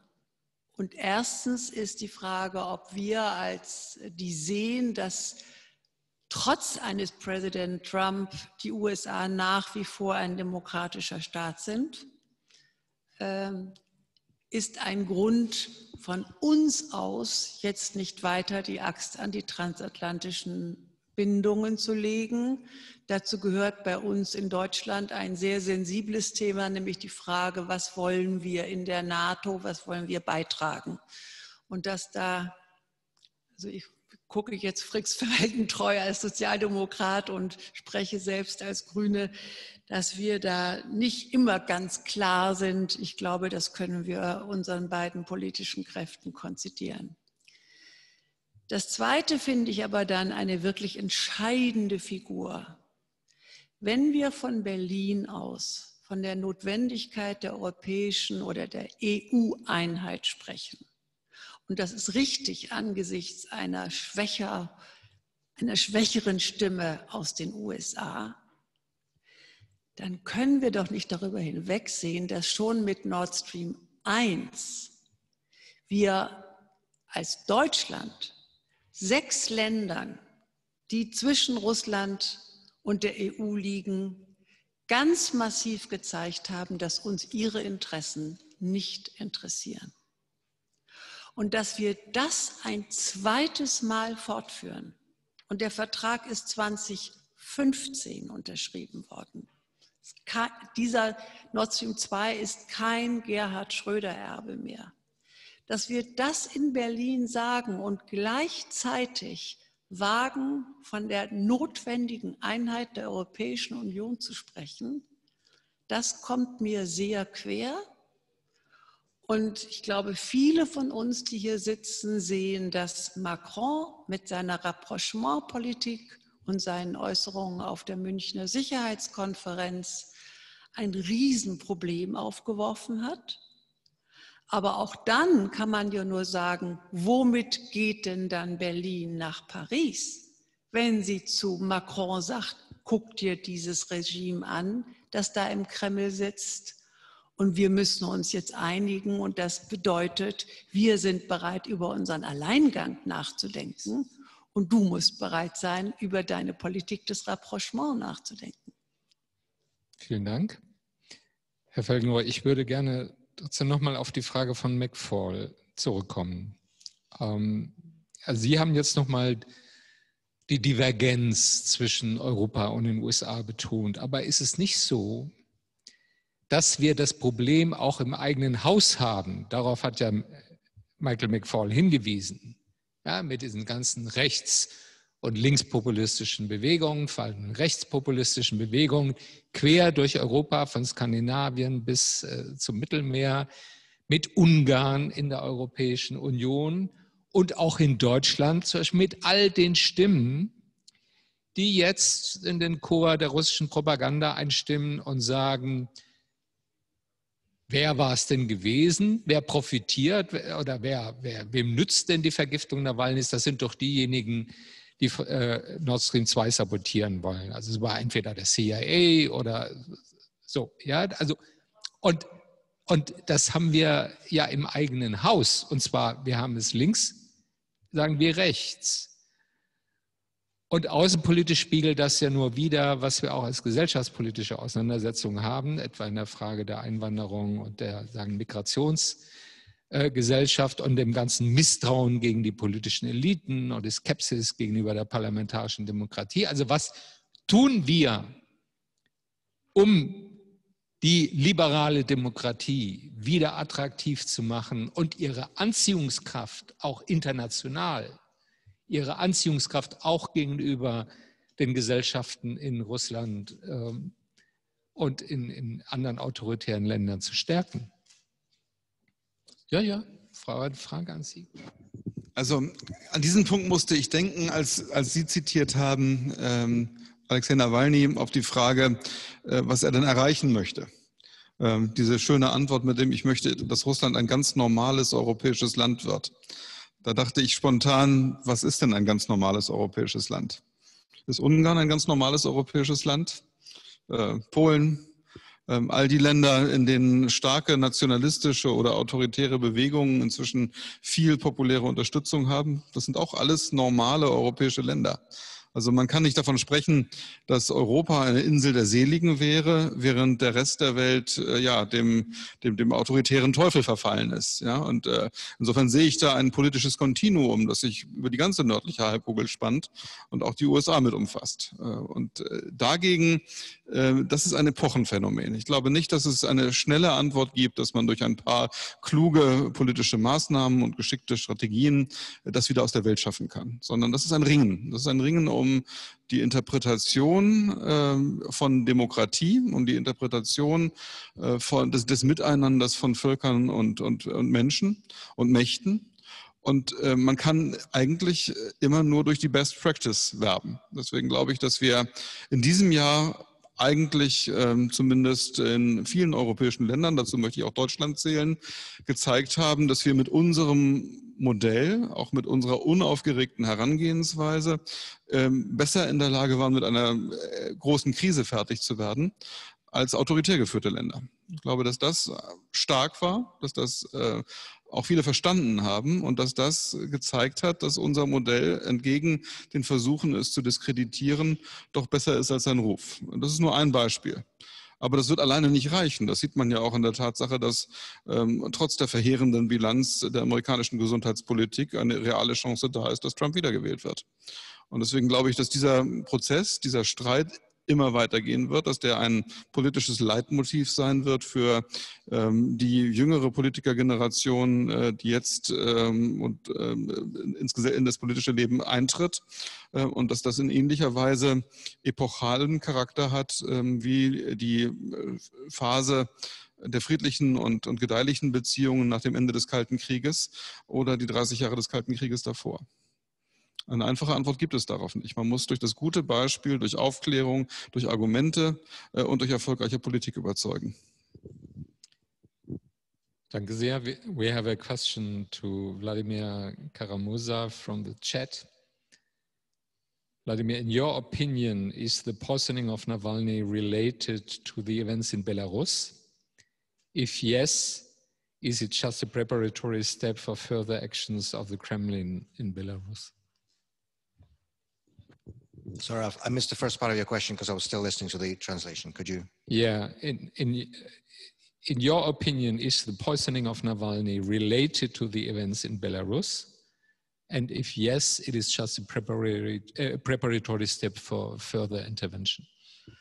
I don't think it is. Um, there are, I mean, when people, a lot of people ask why now, why the timing? Uh, and if, if that's the question, then the two possible answers are, as you said, the protests in Belarus and also the uh, local elections in Russia that are coming up this coming Sunday, 13th of September. In fact, the reason uh, Alexei was in Siberia is because he was campaigning, canvassing for his movement's candidates in, in the upcoming local elections. And uh, it, it may sound strange. Why would Putin's regime care about elections if he, it controls elections? And it does. But one of the things uh, Navalny's movement has been able to do was to um, work for the defeat of pro-Kremlin candidates even when the opposition is removed from the ballot. I mean, it shouldn't be possible to lose an election for the regime when your opponents are removed, but they found a way to do this. They had this initiative called smart voting, where even when real opposition candidates are removed from the ballot, they find some technical spoiler who's always on the ballot just to imitate competition, and they essentially urge people to vote for them. And that's what happened in Moscow last year in the local elections.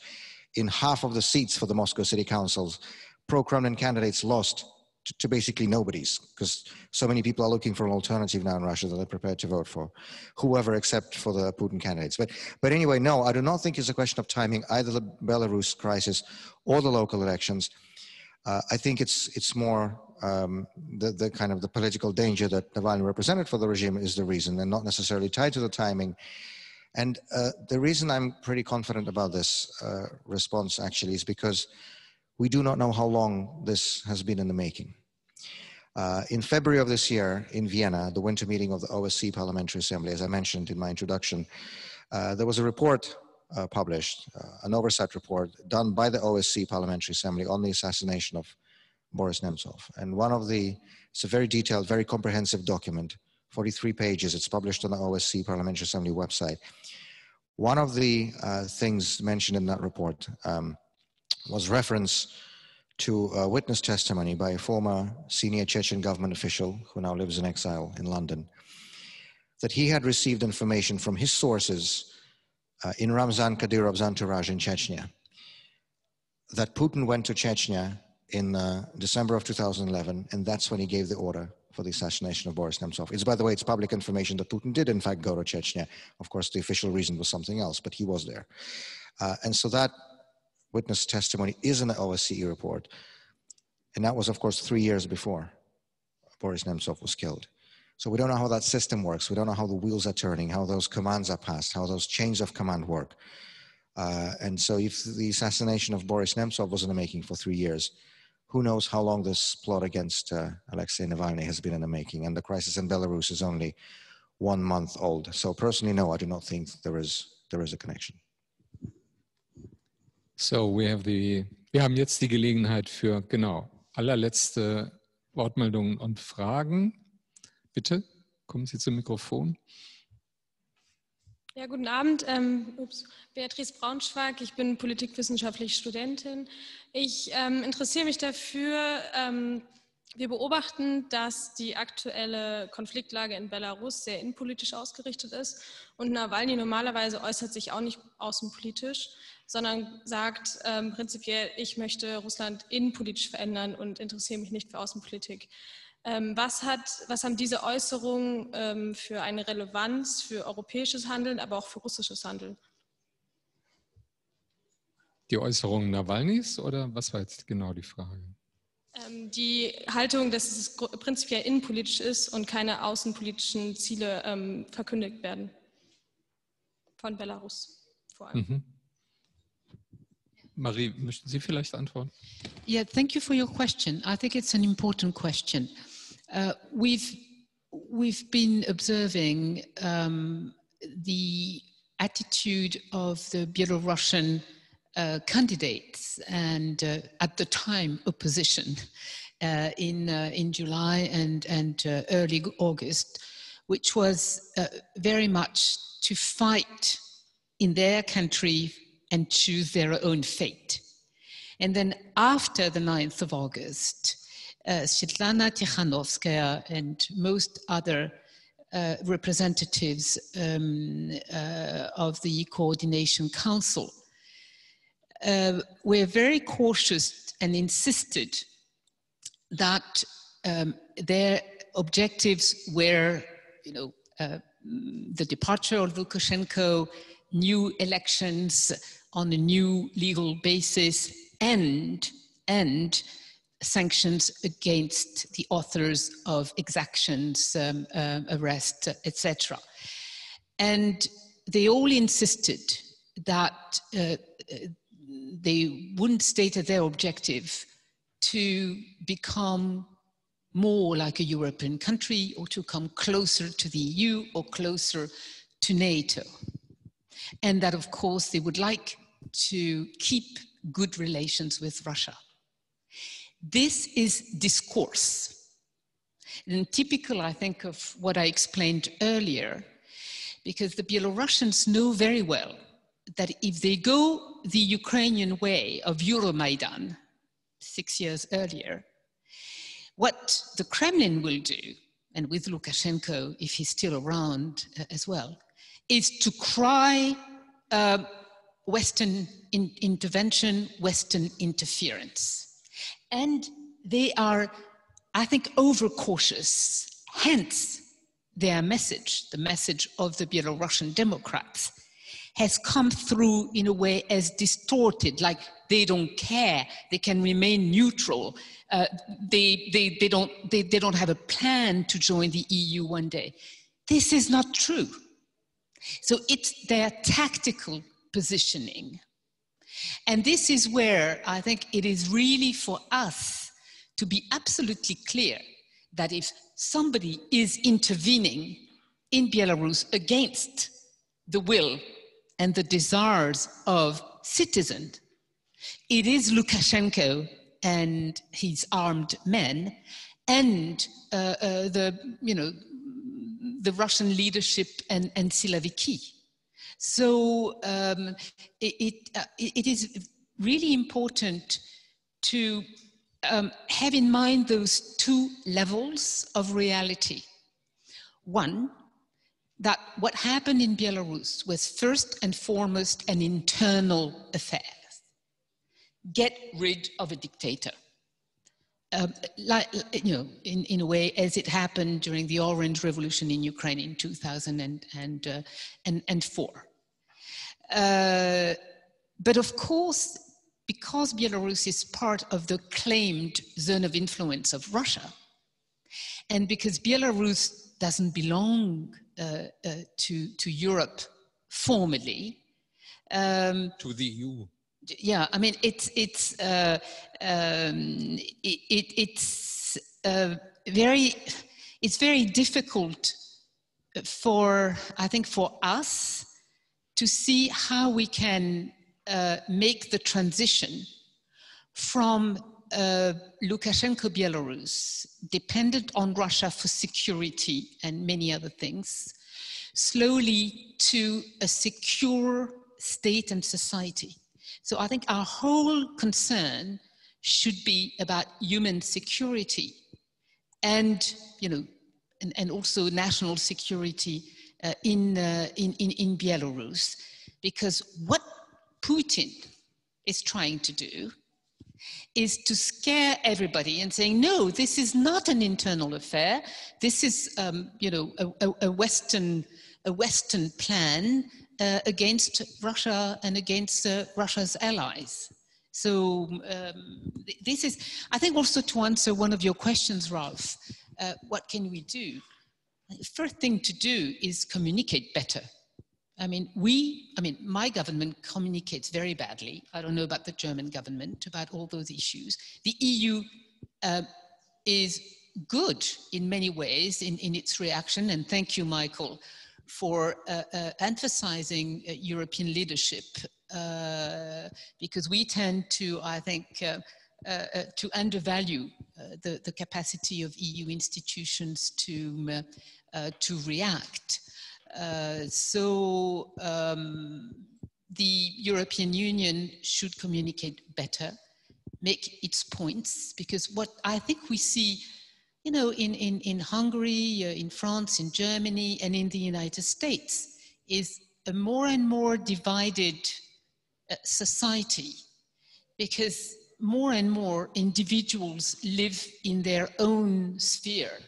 You know, their Facebook group, their, uh, you know, they, they are completely out of the global picture. And their, their sphere can be a sphere of fantasies and this is where also fighting back Russian disinformation, fake news, fake narratives is a, a, a number one priority. Thanks a lot. Final remarks by Michael McFaul, Vladimir and Fritz Felgentreu, please. So I'm next, right, Ralf? Yep. Okay, uh, I'll be brief. This has been a great conversation. Thanks for having me. I look forward to being with you in person someday. Uh, just three thoughts that I had, and there are anecdotes. Two are anecdotes.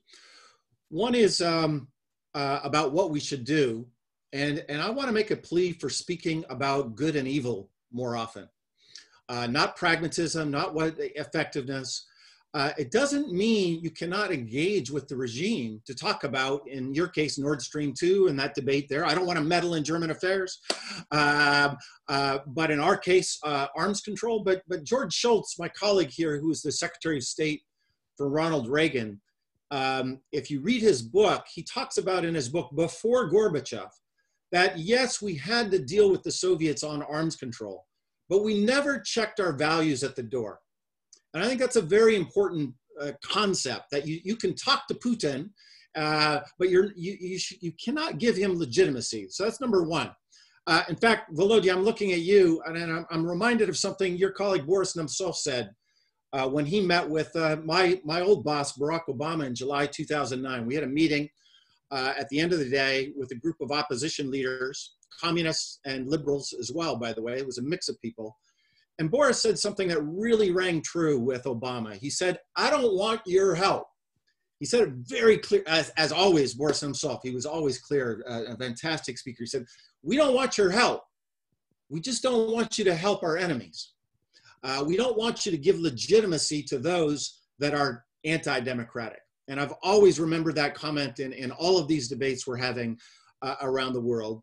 Uh, second one as sometimes we have to uh, adopt policies about right and wrong, irrespective of whether it works or not, right? In my country, we're always talking about do sanctions work or not, and, and what's the causal chain that makes them work. Those are difficult analytic social science questions. Uh, but you may not understand when they might work for a long, long time. And I want to share one more anecdote. Uh, I went to the Soviet Union in December 1991 with uh, uh, Vice President Mondale. I don't know if you remember him. He was the vice president for Jimmy Carter. We were at a big dinner, 400 people there. It was very exciting that we could be there. Uh, it was a group called National Democratic Institute, which I know many of you know. And at the end of that dinner, Walter Mondale went and shook the hands of everybody at that conference because he's an American politician. That's what we used to do. Um, and easily two dozen of those people were political prisoners. Two of them cried when they held his hand. And he, they said to him, Thank you for speaking about human rights. This is in the 70s he was speaking about it, right? This is 15 years later. And they said, Hearing your voice on Radio uh, Liberty gave me inspiration as I sat in jail. So did he, did Walter Mondale know that he was changing the Soviet Union in 1977 when he was reading out a statement? Of course he didn't. But remember that sometimes speaking about good and evil can have long-term unintended consequences way down the road. Thinking of Helsinki Accords in Europe, remember that when we talk about what's pragmatic and not. And then my last third plea would be, you know, Democrats of the world need to unite, liberals of the world need to unite, small d Democrats, small l liberal, small l's. And, and Ralf, I would encourage you and your organization to help engage in this ideological contest we're in in the world. In my country, people do not think of it in those terms. And I think it would be a service to everybody, not wait for our governments, but just as we're doing now, bring the, the, the, this community together to help strengthen this community because the other side, they're doing it. I can tell you they're doing it. The illiberals are engaged. They're having their conferences. They're having their uh, chats and their you know, their bots and all that, that, that, that connective tissue is there. My plea is for small L liberals to do the same on the other side. And especially at this time in my country when we are struggling, we look to Europeans to take the lead. So thanks again for having me. Thanks a lot, Michael. By the way, engaging in defending liberalism not as a partisan issue, but the belief in the value of freedom and self-determination, and the rule of law, and the renewal of liberal democracy, not just defending the status quo, the renewal of liberal democracy. This is the very purpose of our small institute, and this is why we are called the Center for Liberal Modernity. So um, Vladimir, please. Thank you. Thank you so much, Ralf. Thanks again for bringing us here. Uh, the last public event I took part in before this whole quarantine began was at the end of February in Syktyvkar, which is a pretty small provincial town, about two and a half flight uh, to the east of Moscow. It's in the north of the European part of Russia, Republic of Komi, one of the capitals of the Soviet Gulag back in the day. And we had a film screening and then a discussion sort of like this, well, we didn't have social distancing now, but in a room with people and uh, kind of talking back and forth. And there were quite a few young people in the audience. And after speaking with them, uh, maybe, I don't know, for half an hour or so, it suddenly struck me that, you know, back in the day, and those of you who know Russia well will understand what I mean, you would always be able to tell the difference in Russia between a capital city audience, so people from Moscow and St. Petersburg, and then what we called maybe with some Moscow snobbery, provincial audience, people everywhere else. You could always tell kind of to whom and where you are speaking. And it struck me that this is no longer true of the generation, maybe 30 years and younger.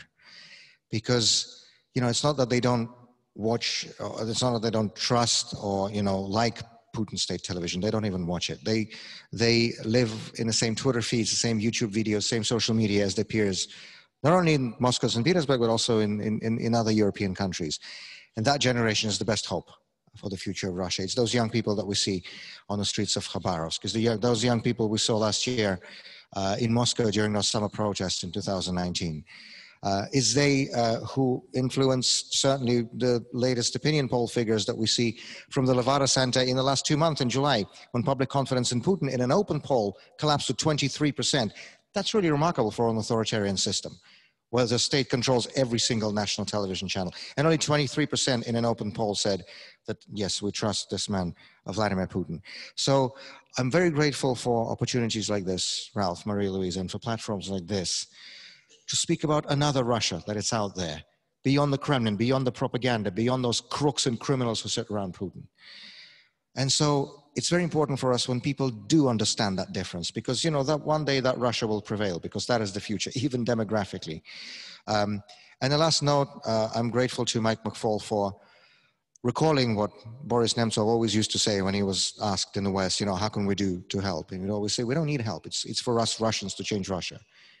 Don't empower and don't enable the Putin regime, especially by giving them um, access to your banking systems, your countries, by allowing them to use your countries and your jurisdictions as havens for the money that they are stealing from us, from the people of Russia. That is the only thing we ask. Stand by your values, stand by your principles, practice what you preach. What we need to do in Russia, we will do ourselves. And hopefully one day we'll be able to have this conference and talk about a very different agenda and talk not just about a rapprochement, as I said, but about real strategic partnership between a democratic Russia and the rest of Europe.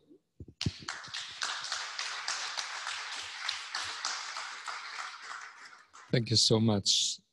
Um, Schlussbemerkung von Fritz Felgentreu. Vielleicht gehen Sie doch noch mal auf die Bemerkung von Marieluise oder ihren Appell ein, dass wenn wir eine gemeinsame europäische Haltung, eine gemeinsame europäische Außen- und Energiepolitik wollen, dass wir dann nicht um Nord Stream 2 hinwegkommen und die Kritik ernst nehmen müssen von einer Vielzahl europäischer Staaten, des Europäischen Parlaments und auch doch ziemlich ähm, hörbar aus der Europäischen Kommission. Ja, ohne eine neue, ohne jetzt eine neue Diskussion aufmachen zu wollen. Ich glaube, ich würde darüber noch hinausgehen. Ich glaube, gerade Deutschland macht immer einen ganz schweren Fehler, wenn wir Ostpolitik und Russlandpolitik äh, als äh, ja, miteinander identifizieren. Äh, denn ähm, der europäische Osten und auch das östliche Mitteleuropa sind weitaus größer als nur Russland. Und ich äh, glaube, gerade wir Deutschen müssen uns immer wieder klar machen, wie empfindlich, und wir sind, na nicht wie empfindlich, sondern wie sensibel und wie misstrauisch insbesondere die baltischen Staaten und Polen darauf reagieren, wenn über ihre Köpfe hinweg Deutschland mit Russland Vereinbarungen trifft. Denn dafür gibt es einfach historische Präzedenzfälle die zeigen, dass das meistens schlecht ausgegangen ist für die Länder dazwischen. Das wissen die, das haben sie verinnerlicht. Und wenn wir uns das nicht klar machen, dann säen wir Misstrauen und erschweren jede Art von europäischer Einigung. Und das betrifft, äh, denke ich, ganz viele Felder der Politik. Und das muss äh, eine, ein, ein, ein, wichtiges, ähm, ein, ein, ein wichtiger Punkt sein, äh, den die deutsche Außenpolitik ähm, in jedem Falle mit berücksichtigt, mit berücksichtigt, ähm, wenn sie Schritte unternimmt, um auch mit Russland ein besseres Verständnis zu erreichen.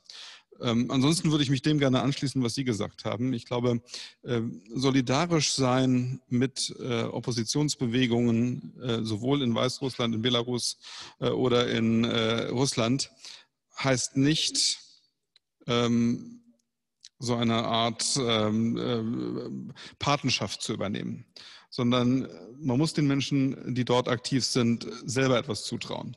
Äh, denn es ist meine feste Überzeugung, Belarusen und Russen sind tatsächlich ganz normale Europäer. Und das, was andere ganz normale Europäer geschafft haben, können sie auch schaffen.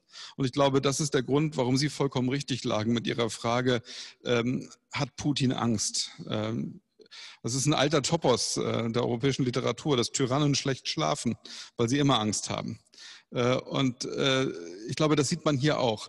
Die Stabilität von Autokratien ist eine Scheinstabilität, weil sie Konflikte zudeckt, ähm, ohne sie zu lösen.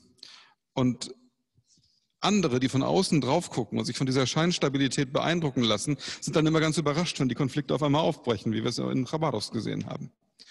Äh, und deswegen glaube ich, man kann sowohl den Belarusen als auch den Russen zutrauen, dass sie es schaffen, diesen Durchbruch zur Freiheit zu erreichen, aus eigener Kraft, in einem von ihnen selbst gewollten und gesteuerten Prozess. Und ich glaube, dass der Appell äh, zu sagen, wir äh, dürfen in einer solchen Situation nicht, uns, uns nicht, und sei es unfreiwillig oder durch, aus Naivität, mit den Unterdrückern solidarisieren. Das ist der richtige Appell. Und deswegen glaube ich auch, dass der methodische Ansatz, den Sie am Anfang gewählt haben, als Sie über den Magnitsky-Akt gesprochen haben, äh, im Grunde der richtige ist. Äh, man muss es nicht eins zu eins übernehmen. Man kann überlegen, welche äh, adäquaten Lösungen es für die Europäer gibt. Aber im Grunde ist das der richtige Weg. Ähm, und zwar überall da, wo wir Menschenrechtsverletzungen registrieren, wo wir ähm, den Bruch internationalen Rechts registrieren, die konkret Verantwortlichen dann auch in die Verantwortung zu nehmen und entsprechend zu behandeln. Das ist der entscheidende Punkt und äh, auch der richtige Weg. Und ähm, ich glaube, wenn wir uns darauf als Europäer verständigen können, dann sind wir schon einen Riesenschritt weiter. Dankeschön.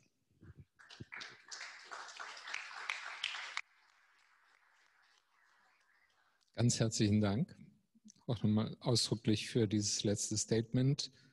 Das ist natürlich viel zu früh für Nachrufe, aber ich darf jetzt trotzdem schon sagen, dass wir Sie als Stimme im nächsten Deutschen Bundestag sehr vermissen werden und hoffen, dass Sie dieses verbleibende Jahr noch nutzen, um möglichst hörbar und wirksam Politik zu machen. Und danach, und danach wieder an einer überraschenden Stelle auftauchen. Genau, wie der alte Maulwurf.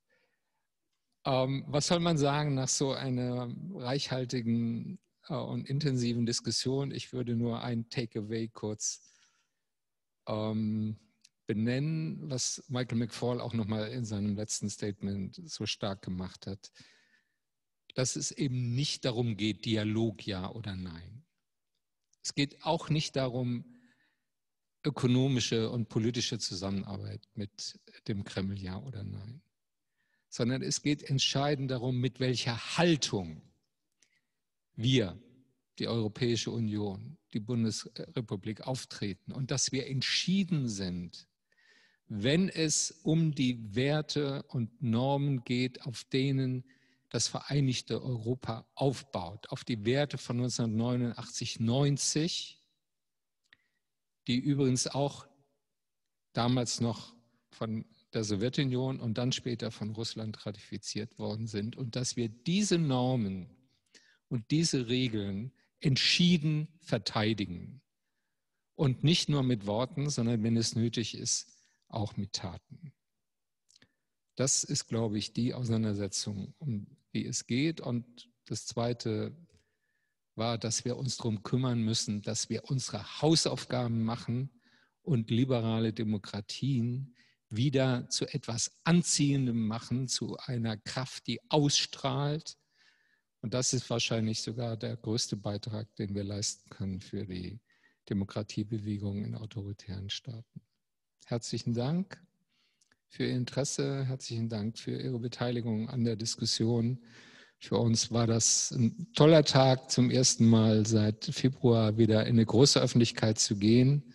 Ich möchte mich noch ausdrücklich bei den Übersetzerinnen und Übersetzern bedanken, die den ganzen Tag über eine famose äh, Arbeit hier geleistet haben.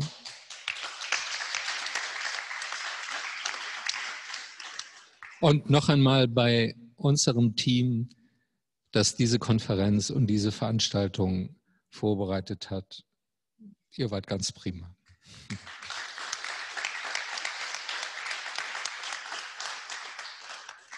Schönen Abend noch.